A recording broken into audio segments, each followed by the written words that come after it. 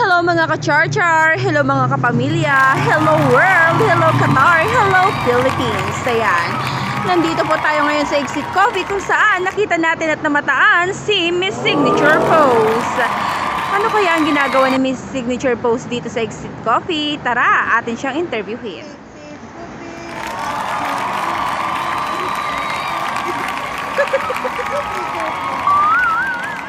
Ayun.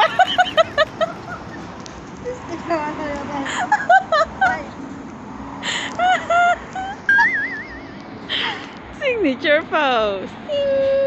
This is this video is like um Catriona Gray versus Miss Signature Pose. Q and A. Hi Miss Signature Pose, kamusta ka? Okay lang. So, anong ginagawa mo dito? Ay, dito sa Exit Coffee. Oh, aside from being a signature pose, nagwe-waitress ka rin pala dito? Yes, madam.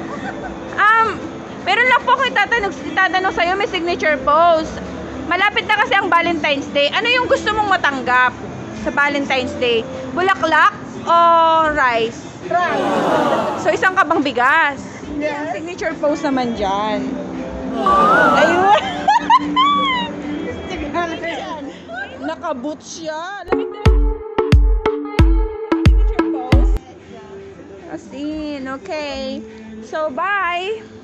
Say bye-bye, Miss Signature Pose. Bye. See you again next time. Ayan, nandito po tayo sa Exit Coffee kung saan nating interviewin si Signature Pose. Um, talagang sinadya po natin